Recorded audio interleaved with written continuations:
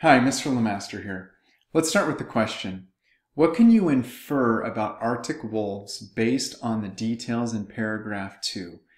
Well, before you jump to paragraph 2 and start answering this question, let's think about what infer means. Infer means to uh, make a guess based on the information that you have in the text. So the information is not going to be directly stated in the text. You can't just point to it. Ah, there's my answer right there.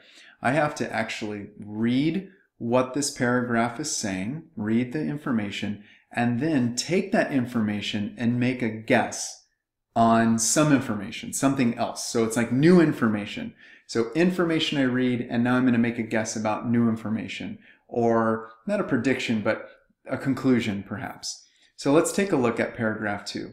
You were born two summers ago in a litter of four. So this is taking on the persona of you being an Arctic wolf.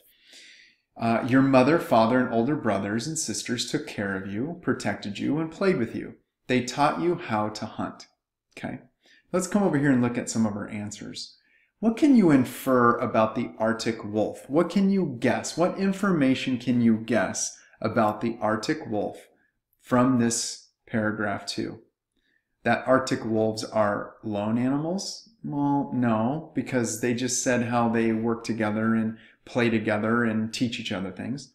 Arctic wolves are not good teachers. Well, if this said good teachers, maybe, but this says not good teachers, and the paragraph talks about them being good teachers. Arctic wolves stay together forever. We can't make that. We can't make that guess. It doesn't tell us enough to make that guess. So, Arctic wolves take care of their young. Ah, yeah, I can make that guess. Arctic wolves take care of their young.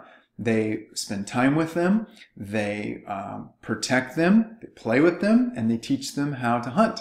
So, yeah, they take care of their young and prepare them for their futures. And so, number the last one, letter D, if you will, the last one, Arctic wolves take care of their young is the answer. That's the correct inference.